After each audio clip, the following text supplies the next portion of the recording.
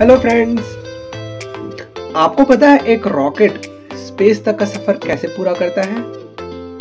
हम देखते हैं high velocity exhaust gases rocket से बाहर निकलती रहती हैं। ये गैसेस एक लार्ज फोर्स जिसे थ्रस्ट कहते हैं, वो रॉकेट पर अप्लाई करती हैं, जिससे रॉकेट ट्रैवल करता है। आइए इस तरह के कुछ और एग्जांपल्स को एनालाइज करते हैं। एक चिड़िया आसमान में उड़ान भरने के लिए अपने पंखों से हवा को नीचे की ओर पुश करती है। बिल्कुल उसी तरह एक स्विमर आगे बढ़ने के लिए पानी को पीछे की ओर पुश करता है।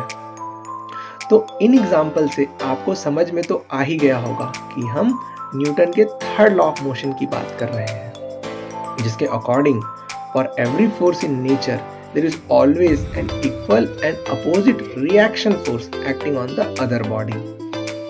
तो आपको इस एक्शन रिएक्शन कपल का कोई और एग्ज़ाम्पल याद आ रहा है मुझे कमेंट करके ज़रूर बताएँ